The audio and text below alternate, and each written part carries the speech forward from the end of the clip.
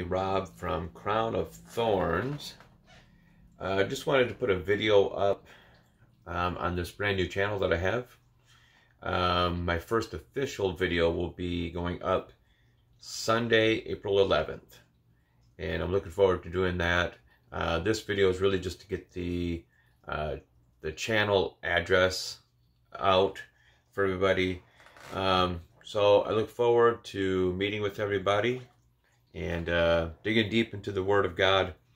So stay tuned. That video will premiere, like I said, on Sunday. Um, but this one is the first video just to get the channel out there. All right, take care and God bless.